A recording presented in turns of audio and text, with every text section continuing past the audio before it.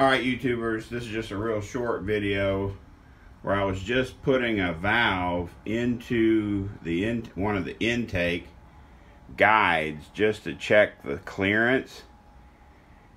I'm not real happy. I don't know. Because you look at this thing. Now keep in mind, what I'm showing you is the overall clearance. So you would divide this reading by 2 to me it looks like it's getting real close to seven.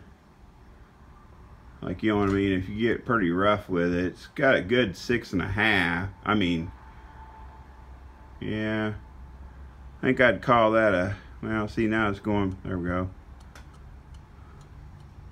That's seven right there. That's a repeatable seven thousandths which means that's a that's a solid three and a half thousandths guide to valve stem or uh, yeah valve stem clearance which is too much for an intake uh, valve guide situation.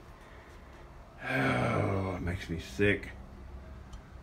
Because now I'm gonna we were really hoping to not have to do that kind of uh, expense on these on these heads but these valves were so burned up on the stems that it gave a false, let's call it the wiggle test, where you can pull the valve slightly off the seat and just kind of wiggle it back and you know push it back and forth to get an idea how much wear is on your valve guide. Basically, those old dirty valves were so caked with oil burnt to the stems you know, like here's one. It's been slightly cleaned here. But you know what I mean? There was so much gunk up inside the guide that when we first checked them, they looked like they were going to be okay. But then uh, we were going to go to some brand new uh, intake valves, one piece stainless steel intake valves, because we found some damage on one of the one of the intake valves Plus, there's several of them that even when you uh, run some green Scotch-Brite over over them to kind of clean them off, they don't want to. They act like they don't want to go back in the guide. So I don't know if that's an issue from galling, you know, possibly bent. I don't know what's going on with those factory valves, but even when you start cleaning some of the burnt gunk off of them, they don't act like they want to go back in the guides they came out of. So apparently those things are not happy so we replaced those. In the process i was rechecking the valve guide clearances and my heart dropped because we definitely did not want to have to run into this bag of worms you know having k liners put in and, you know all the associated machine costs delay the project so. But i wanted to make this quick video so uh, daniel could see what's going on as far as that clearance on the guides that seems excessive to me. And with the kind of engine he's building I don't know if I would chance that.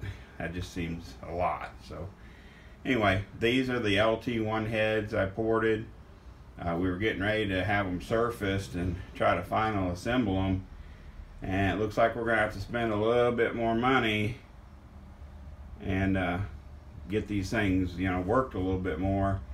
Apparently a 24 to 25 year old head, those guys have put in their service and they're wanting some help. So we're going to have to call around and see uh, who we're going to select for this next stage of the process so that we know these heads are going to perform like they should. So anyway, I just wanted to throw up a real quick video. I do have a lot of footage I've been trying to meld together and, and edit uh, about these LT1 heads. I just haven't been very successful in coming up with a product I thought you guys would enjoy or deserve. So thanks again for watching the channel. Hopefully you guys please stay tuned.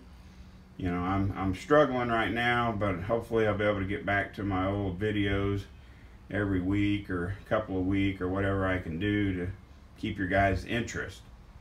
Please like, subscribe, share, hit that little bell. You know, whatever we can do to try to get the views back up where they used to be, that would be greatly appreciated. Thank you.